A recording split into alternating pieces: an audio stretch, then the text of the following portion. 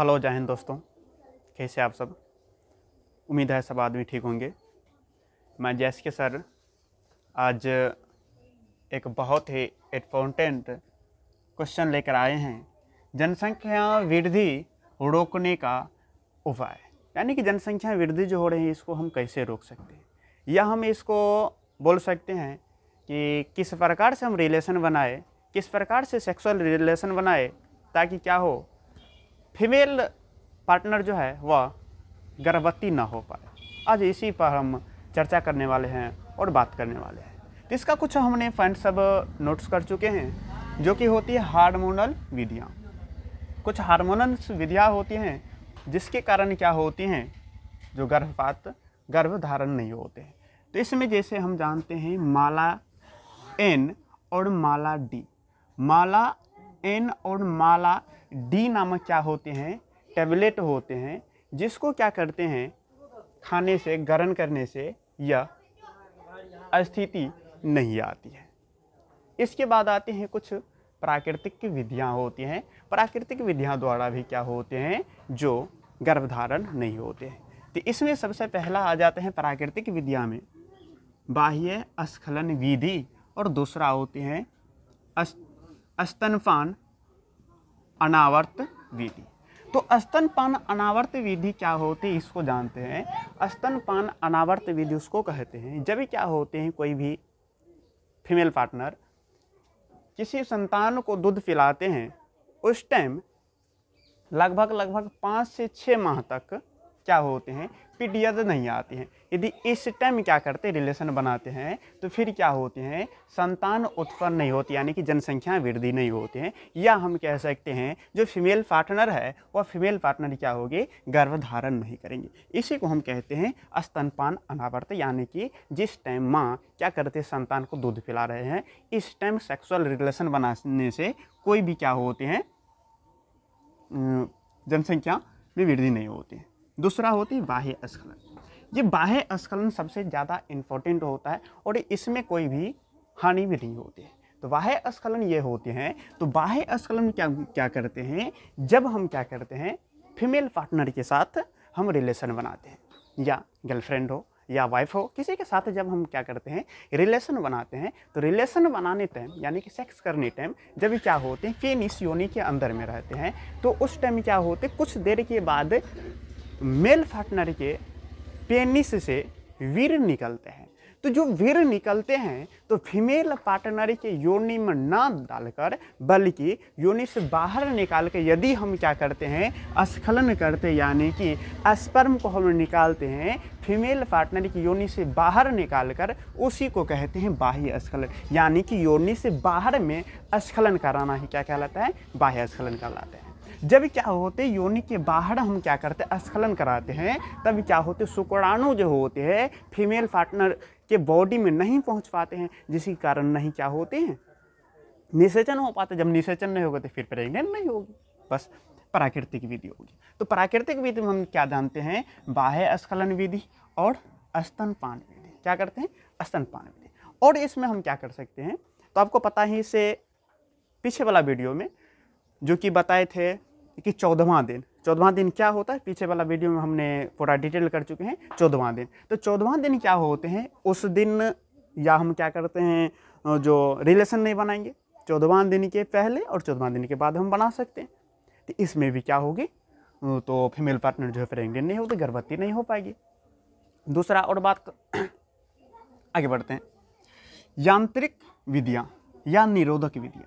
यांत्रिक विधियाँ या निरोधक विधियाँ। यांत्रिक या निरोधक विधि क्या होते हैं? सेफ़ काम करते हैं। यानी कि या निरोधक विधि से क्या होते हैं? हमको एक बीमारी का नाम सुना होगा कि एड्स बीमारी होता है। और ये एड्स बीमारी जो होता है यह किससे होता है? यौन संबंध से ही होता है। जब हम निरोधक विधि का इस्तेमाल करते हैं, इससे क्या होते हैं?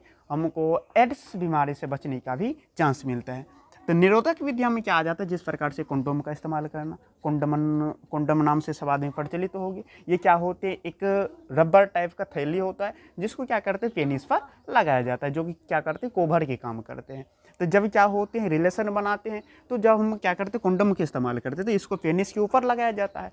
जब पेनिस के ऊपर में ये लगाया जाता है और रिलेशन बनाते हैं तो रिलेशन बनाते हैं तो क्या होते हैं? फीमेल का फीमेल का और नर का दोनों में क्या होते हैं? संपर्क नहीं बन पाता है। जिसके कारण क्या होते हैं, जो जो भी अस्खलित होता है, वीर अस्खलित होता है, वह वीर कहाँ आ जाते हैं? कुंडम में आ जाते हैं और फीमेल पार्टनर के बॉडी में यानी कि योनि में नहीं पहुँच पाते, जिसके कारण क्या होते हैं, फिर गर्भधारण नहीं होता है। दूसरा होता है, डायफ्रम गर्भाशय ग्रीवा टोपी, शुक्र, शुक्राणुनाशक, क्रीम। एक आता है शुक्राणुनाशक की क्रीम।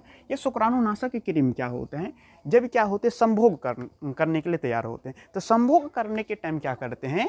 फीमेल पार्टनर के योनि पर क्या करते हैं? इस क्रीम का लेपा लगा देते हैं। जब क्रीम का लेपा लगा देते फीमेल पार्टनर के योनि पर तब क्या होती जब इधर से रिलेशन बनाते हैं तो रिलेशन टाइम जब क्या होते हैं? जो वीर अस्खलित होते हैं, जैसे वीर अस्खलित होते हैं, वीर में जो भी शुक्राणु होते हैं, उस शुक्राणु को क्या करते हैं, यह नाश कर देते हैं, यानी कि ख़त्म कर देता है डेट कर देता मार देता है। जिसके कारण क्या होते फिर प्रेग्नेंट, यानी कि गर्भधारण नहीं कर पाते। इसी प्रकार से जेली भी होता है क्रीम या जेली जिसको बोलते हैं, इसका प्रयोग करके। अंत गर्भाशय युक्तियाँ का उपयोग करके, जैसे लैम्प लोप लैंप लोप कॉफर टी और कॉफर सेवन ये क्या होते कुछ तंबाकी संरचना, कुछ तंबाकी होते हैं, कुछ इस प्रकार से होती इसको क्या करते हैं? योनि के अंदर लगाया जाता है। क्या करते हैं? बढ़िया जो शिक्षित यानी कि जो जानकार जिसके फ्राइटिक्स में रहती, इस नर्स के द्वारा इसको क्या करते हैं? लैंप लोप कॉपर टी या कॉपर सेवन को लगाया जाता है। जो क्या करते हैं, ये तंबाकू होते हैं, जिस प्रकार से रिलेशन कर में आते हैं तो रिलेशन में आने के बाद क्या होते हैं, जब फीमेल पार्टनर के अंदर भी वीर अस्खलित हो जाते हैं तो लैंप लूप हो गया, कॉपर सेवन हो गया, कॉपर टी हो गया, ये क्या करते हैं, कुछ रसायन छोड़ते हैं, और वो रसायन क्या करते हैं, जो वीर में जितना भी शुक्राणु होता है, उसको क्या करते हैं नष्ट कर देते हैं, जिसके कारण क्या होते हैं, निषेचन नहीं हो पाते फिर, रासायनिक विद्या रासायनिक विद्या में क्या आते हैं सर्मिसाइडल रसायन, जो क्या होते हैं? सर्विक्स सर्विक्स के निकल लगाया जाता है और सर्विक्स के निकट जैसे लगाते हैं, रिलेशन बनाने टाइम क्या होते हैं? यहाँ से कुछ रसायन निकलते हैं। जो रसायन क्या करते हैं? शुक्राणु को नाश कर देते हैं, जिसके कारण फिर क्या होते हैं? निषेचन नहीं हो पाते। निषेचन नहीं होते, फिर गर्भधारण नहीं होते। सर्जरिकल विद्या, ये तो विद्या आसान होती है और ये विद्या क्या होती? है जब हम क्या करते हैं, संतान से परिपूर्ण हो जाते जब हमको अब लाइफ में संतान नहीं चाहिए, होता है, तब हम क्या करते हैं? सर्जरिकल विद्या का अपनाते हैं, जिसको हम नसबंदी कहते हैं या वास्कोटोमी कहते हैं। जो पुरुष में होता है, उसको नसबंदी यानी कि वास्कोटोमी कहते हैं। जब स्त्री में होते हैं तो इसको क्या कहते हैं? स्त्री नसबंदी या ट्यूकोटोमी कहते हैं। ये होते हैं लास्ट के प्रोसेस ये क्या होते हैं? लास्ट के प्रोसेस होते हैं।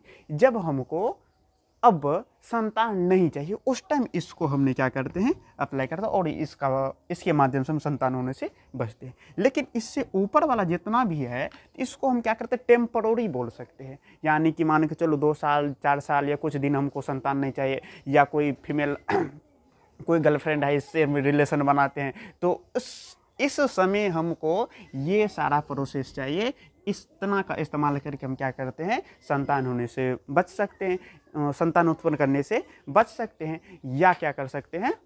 जनसंख्या को हम नियंत्रित कर सकते हैं। समझ गए? आज की वीडियो में यहीं तक। मिलते हैं फिर हम नेक्स्ट वीडियो में। वीडियो अच्छा लगे तो वीडियो को लाइक करो, शेयर करो। तब तक के लिए बाय बाय